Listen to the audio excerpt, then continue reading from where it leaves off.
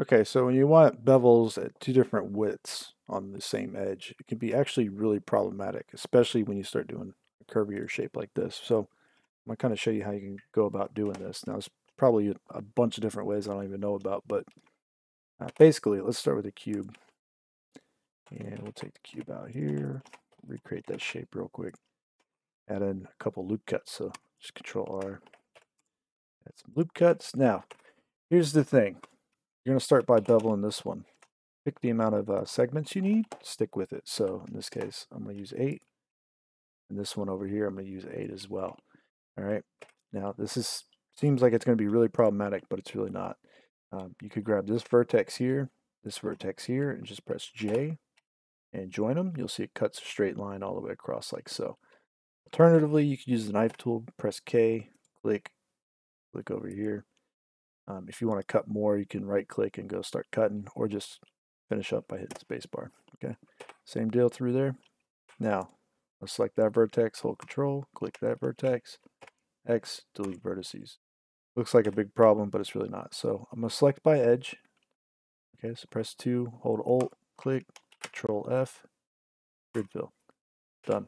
That one's real simple. These planar faces, they're all flat, right? So these are real easy to do. Now, going to get a little bit more complicated here in a second. So I'm actually just going to control Z back. So we got the same shape. Okay, now I'm going to take this and with proportional edit, I'm going to grab that face. And now we can press G and move it around. Let's move it up. Let's uh, rotate it a little. Pull it out this way maybe. Okay.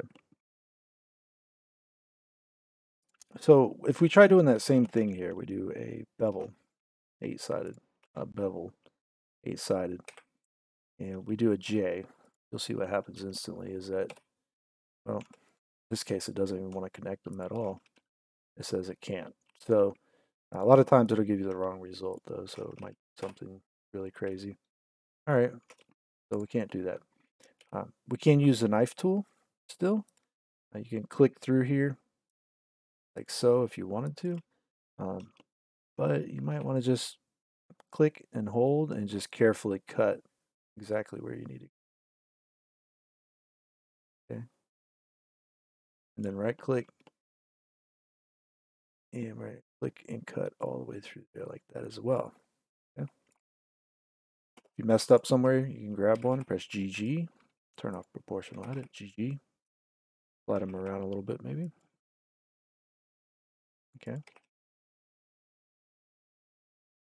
And so here's the problem. As soon as we grab all this, say we grab all this through here, we delete it, grab this, Control F and grid fill. Um, in this case, it actually worked. A lot of times it won't though. It's going to go crazy and do something nonsense. Uh, and you won't be able to actually grid fill it at all like this. So if that's the case, I want to show you what you do in that situation. So what you're going to do is you're going to take this vertex, and delete it. Okay, you're going to take this vertex and you're going to delete it. These edges right here, you're going to bevel these.